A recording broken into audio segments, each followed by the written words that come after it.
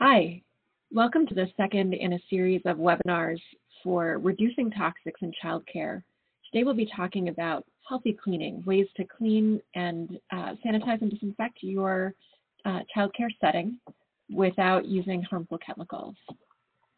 So today we will be learning about uh, why children are more vulnerable to chemicals of concern in their environment and also why you should be concerned for yourself and other employees uh, in terms of the chemicals used in cleaning products.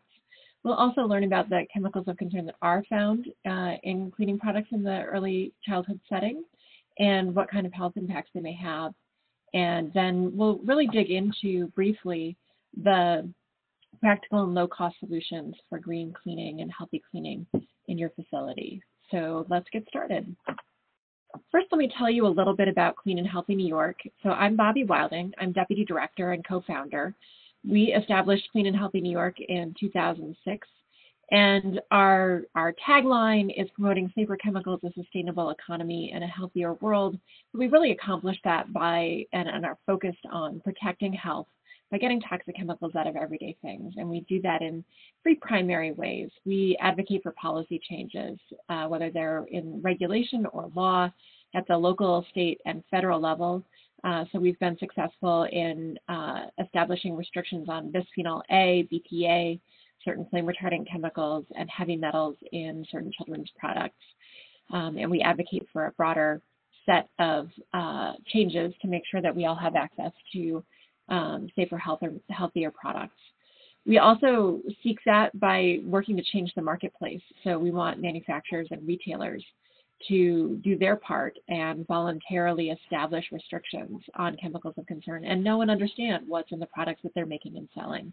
And uh, in the uh, sector related to childcare, we have a Getting Ready for Baby national campaign, which we would encourage you to consider joining. Talk a little bit about that at the very end. Uh, we also train people uh, on how to avoid chemicals, and, and we've actually trained over 700 childcare providers now. This slide's a little bit out of date, but we also work with nurses, businesses, and others um, to understand uh, how what, what the risks are and, and how folks can be engaged. And finally, really, we win by collaborating with others. We partner with groups across New York State and around the country and really around the world to make change so that everyone has access to safer, healthier uh, daily environments. So that's about Clean and Healthy New York. So let's just talk a little bit about how chemicals such as the things used to make cleaning products get into our bodies. First of all, we can ingest them and swallow them. Um, you can see a, here's a baby chewing on a rubber ducky. It's not just about the food we eat, although that is definitely a way that we can be uh, coming into contact or taking those chemicals into our bodies. But also if there are chemicals in products that we're putting into our mouths or have settled onto products um, or our residues, all of those can be ingested. We can inhale them. So if you're using a cleaning product and you're spraying something, uh, you'll actually be inhaling some of those droplets um, and breathing them in. And if you're uh, using a cleaning product, if you're spraying it, it could settle on your skin and you could uh, absorb it.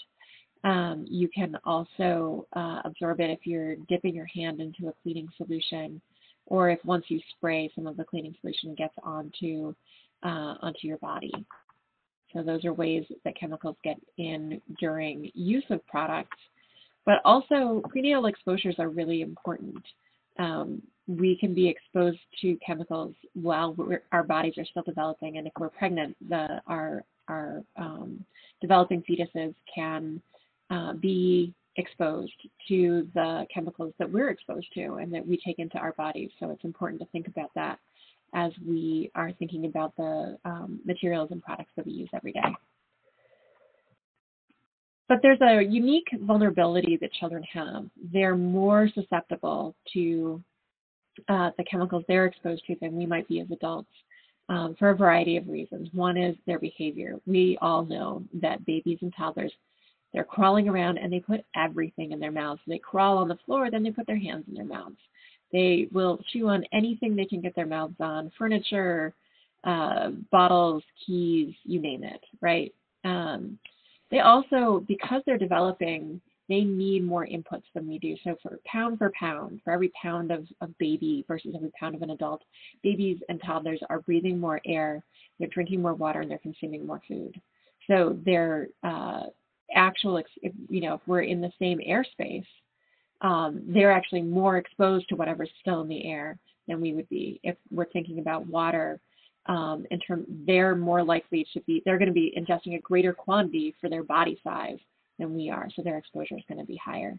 And finally, babies' bodies and toddlers' bodies are still developing. That first thousand days that people talk about for um, appropriate curriculum development uh, is also really critical for just all biological development. Organs are still developing, the brain is still coming into focus. Um, and so uh, when chemicals can disrupt uh, development, and there's critical windows during which uh, our bodies are trying frantically to send those signals back and forth to make sure that everything goes right. It's a lot easier to create a problem at that point. And so um, those critical windows of development, including the first thousand days, um, are times when chemical exposures can actually have a more profound impact than later or at other times. And finally, children are actually in a different environment, even if they're literally in the same room we sit in spaces that are, you know, three feet off the ground or four feet off the ground, and we stand in spaces that are five or six feet off the ground, right? Babies and toddlers are much closer to the floor, so everything that settles to the floor gets kicked up as people walk, particularly on carpets. And so the air that they're breathing is actually different air. Um, and it really does make a difference in terms of what they're um, being exposed to uh, in the same space that we're in. So it, makes a difference. So we see evidence that uh, the chemicals that are being used in our daily environments are having an impact on health problems that are increasing. So we see a, we've seen a rapid rise in developmental disabilities that now affect nearly 7% of all kids ages 3 to 17. We've seen ongoing increases in the diagnosis rate for childhood cancer. Thankfully, uh, medical science has really helped us reduce the mortality rate, so fewer children are dying, but more families, more children are going through the trauma, both to their emotions, but also to their body from the, those treatments.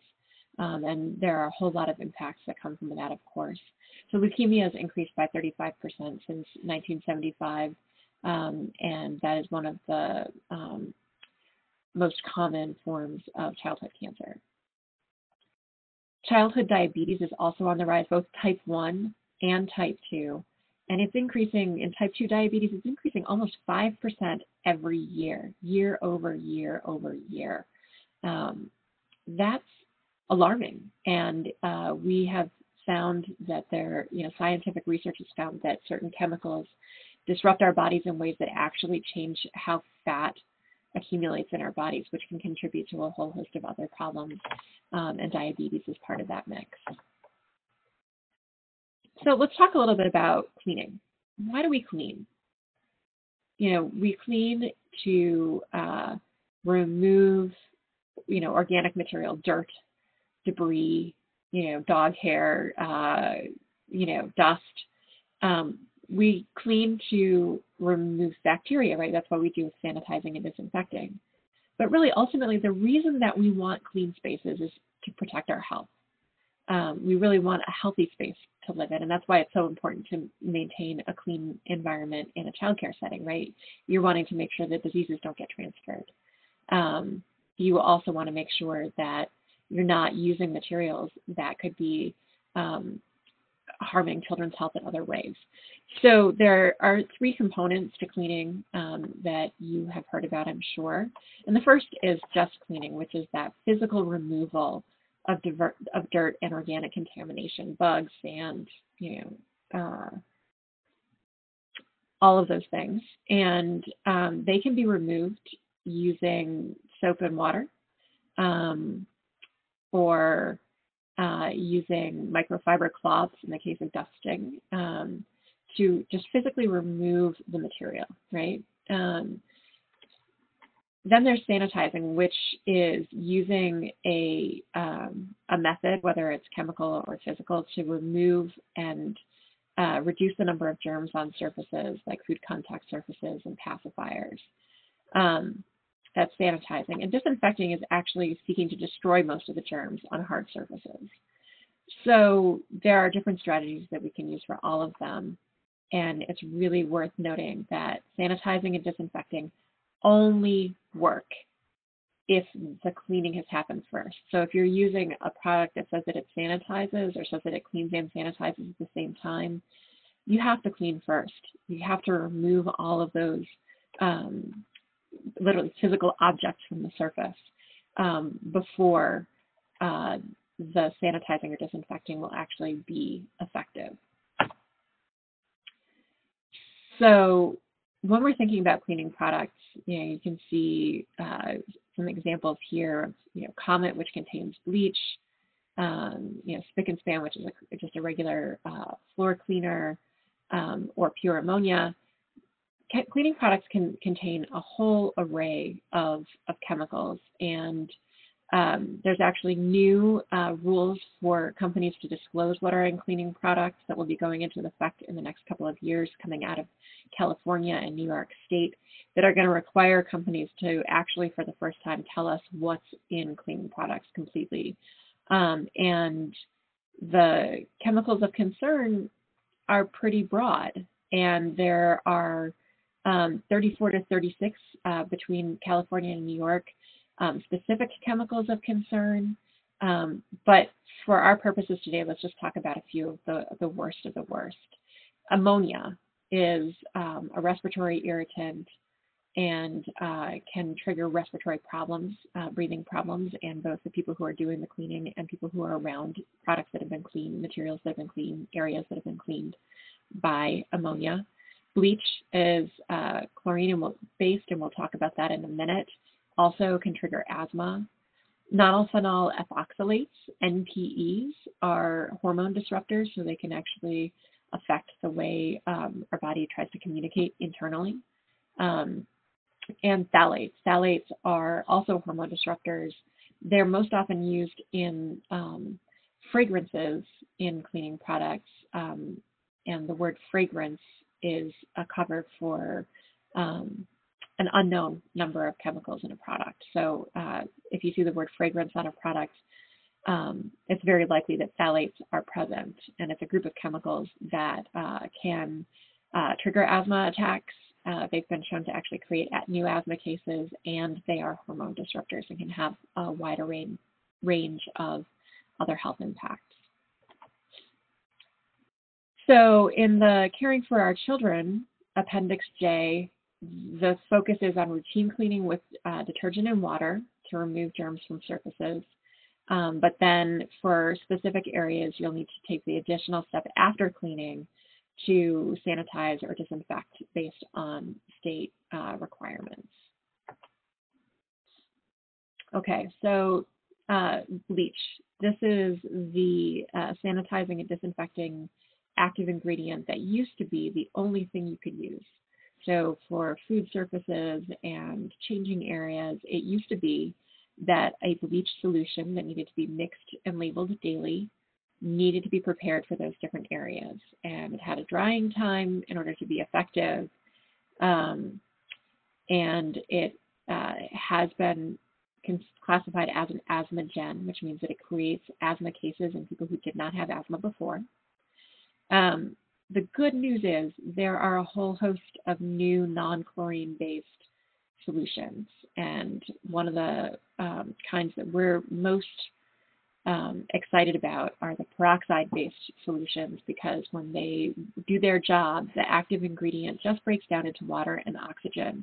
So there's no harmful byproduct left behind. There's no chlorine molecules left behind. There's it's just water and oxygen from the active ingredient. So um, you can find non-toxic alternatives um, that are registered with the EPA as being effective for the purpose of killing bacteria and uh, to some extent viruses. And um, there's a lot of information in, in one of the resources I'll share with you in a minute that will help you um, identify the products that may work best for your facility. And I just want to reiterate that you can clean using um, many sort of do-it-yourself kind of uh, solutions. You can clean to remove dirt and debris using a microfiber cloth and water with no additional chemicals. You can clean to remove uh, material using just regular soap and water. You don't have to have a special high cost uh, fancy cleaning product in order to clean effectively. Um, when it comes to some of the alternatives to bleach, they can sometimes be more expensive than, than bleach.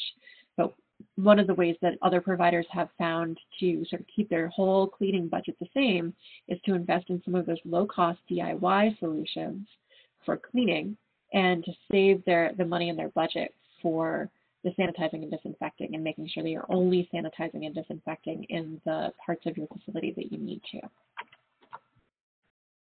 Okay, so how do you actually choose safer cleaning products?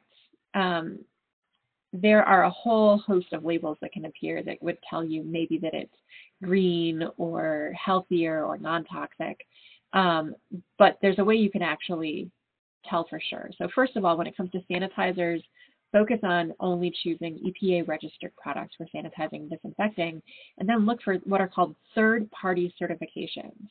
Um, third party means that they're entirely independent of the company that's making the product. So a first party certification would be the company tells you, we've done testing and it doesn't contain BPA. And so would be, they would certify that their own product meets their own standard. A second party certification would be that a trade association, say the cleaning trade association, the trade association of all the people who make cleaning products, says we've established a standard and here it is. Um, and a third party certification uh, is one that's established by an outside group. And so let's talk about what those are for cleaning products that we feel are effective and safe um, and actually meet a high standard for making sure that the um, products that have that label are actually going to be safer and healthier for you and for the children in your care.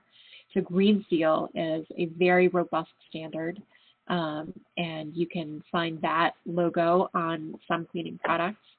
Then there's also the UL EcoLogo label, which similarly has very high standards for avoiding chemicals of concern. And then the U.S. Environmental Protection Agency established a program called Safer Choice, which uh, identifies safer products. It's not quite as stringent as Green Seal or EcoLogo, but it's also good. And the thing that we really like about uh, Safer Choice is that they have a fragrance-free section. And when it comes to cleaning, you know, oftentimes people will use scented products, one, because uh, we've been marketed to for generations that uh, you know, we know that we're clean when we can smell the product that we use to clean things with, right? Like Pine-Sol Clean, right? Um, it's not actually true. What you're smelling, if you're smelling something when you're done, it's because there's still a chemical in the air. And so what you really want is not to be noticing that you've cleaned. You want you don't want to be noticing a smell of something dirty. You don't want to be noticing the diaper changing station, right? But you also don't really want to be noticing that there's a chemical in the air. And really, that's what fragrance is. It means there are chemicals, additional chemicals in the air. And so choosing fragrance free is really important. Um, another reason why people will use, say, air fresheners is because they haven't actually cleaned the air of the stinky stuff. And um, all you're doing is masking the problem and adding to the problem by adding additional chemicals into the air rather than actually removing the, the offensive uh, odors. And so uh, you can use things like uh, air filters to filter out uh, offensive smells. Um, you can also use like charcoal or um, uh, baking soda based uh, uh, odor absorbers. And then you can also just make sure that you're containing waste so that it doesn't smell and removing it frequently from your program. But if you're getting a lot of smells, it may also mean that you're uh, HVAC system, your um, heating and cooling system, is not actually doing the job that it needs to be doing. So if you're if it's not pulling out the air and making sure that you're getting fresh air in, um, it's definitely something that you should look into. And also consider opening windows to get more fresh air in. That can make a big difference. The truth is that indoor air is actually often more uh, contains more chemicals of concern than outdoor air, and part of it is because everything gets trapped inside. And when you add a fragrance, um, particularly if it's like, you know, uh, an air freshener, it comes with additional things in, in addition to whatever that pretty smell is. Um, and so you're basically adding harmful chemicals into that mix. So what can you do? One, cleaning products for the most part um, need to be kept separately. So if you've got a microfiber cloth, uh, you know, that's not going to be necessarily something that's uh, in a concentrated form could be harmful. But most cleaning products in a concentrated form could cause problems. So like paints and other household chemicals, you want to make sure that all cleaning products are stored in areas that children can't reach them. You also want to make sure that providers are not bringing cleaning supplies from home because uh, once you establish a policy and you identify the products that you want to use, um, providers bringing things in from home or, or other members of your staff will mean that they're likely deviating from the choices that you've made to be healthy and uh, to avoid harmful chemicals. Make sure that you're limiting eating and drinking to assigned areas so that you only have to sanitize or disinfect um, in those areas. And when you're cleaning, make sure that you're keeping screened windows open and using fans to ventilate. Make sure that you're following the label instructions so that if it calls for diluting the product, that's what you're doing. Make sure you're not using the products when children are in the area and make sure that the air is clear before children go back into the space that's been cleaned definitely don't mix products. If you've got a product that is made with ammonia and another one that's made with bleach, and because they're not always fully labeled, you may not know, so don't mix products at all. But if you mix ammonia and bleach, you can produce a highly toxic gas that can be deadly. So wear protective gear, gear when needed for, um, for sanitizing and disinfecting especially. And make sure that you're only using those sanitizers and disinfectants where recommended by state and local authorities. And here I just want to pause and say that recent research has found that using cleaning chemicals for women over a number of years, either women who cleaned at home once a week or worked uh, in a janitorial setting or uh, like childcare providers or teachers had to do some of their own cleaning. Um, the impact on respiratory function over time was the same as smoking a pack of cigarettes a day. This is deeply problematic and means that even if you're not so worried because kids are coming and going, your daily exposure to the products that you use to clean can have a real impact on your own health over time, can have an impact on how well you can breathe. And so we strongly encourage you to look for safer materials. So don't don't do this. Don't have kids be participating in, in cleaning. Uh, so just briefly, uh, to get back to the fragrance question, candles should not be used. Um, please know that even though uh, essential oils may be derived from natural materials, they aren't all of the same quality, so they may be containing artificial um, additives, but also that when you concentrate anything down into a pure source, it can become more irritating. So there are essential oils that can be respiratory irritants or skin irritants to sensitive individuals. And I myself find that several essential oils um, and products made from essential oils like thyme oil actually make me have a hard time breathing. Um, and you don't know whether it's going to be you or a parent or a child who might have that kind of reaction. So really, you know, no smell is the best smell. So please consider that. And also just consider that a lot of times essential oils get used to accomplish something, right? Like they get used as a um, antibacterial uh, uh, for an antibacterial purpose, or sometimes essential oils get used as uh, an aid to being healthy. So they have an impact on our bodies. They are biologically active in many cases. They're not just smelling pretty. So just keep that in mind when you're thinking about essential oils, which I know have become a lot more popular. So what to do, provide good ventilation, make sure that your um, systems are working well and that you have what are called HEPA filters in place. Uh, if you need a scent, consider putting lemon slices in a dish of baking soda, which would help absorb the other odors and, you know, fresh um, whole uh, fruits or cinnamon cooking on a stove. Those kinds of things are um, less likely to be um, harmful because they're not concentrated down the way that essential oils are, for example. so how do you know what to do? The folks at Informed Green Solutions have put together an amazing toolkit for you. Um, it talks about which products should be used to clean, how to know which areas should be sanitized and which disinfected and how often, what's the difference, all of those things. They have a list of all of the kinds of products that are approved by EPA that are actually green and safer um, and talk about what the dwell times are, so how long you have to wait before you can move on in order to be effective. Um, I highly recommend getting this curriculum. Um, and then once you start thinking about the ways you can make your pro your program safer and healthier, there's an endorsement program you could consider. And uh, we collaborate with the Eco Healthy Childcare Program, which is run through the Children's Environmental Health Network. And basically what it comes down to is there's they have a checklist of 30 steps that are easy to follow and low cost. And if you can complete uh, 24 of those, including the ones that are required, then you can become endorsed. And it's a pretty simple process, and the, the link to go there is right here on the screen. Um, I highly recommend that you check this out and consider becoming endorsed. Um, they offer a whole bunch of resources uh, as Clean and Healthy New York does. Since you're watching this webinar, hopefully you found your way to our website, which is cleanhealthyny.org.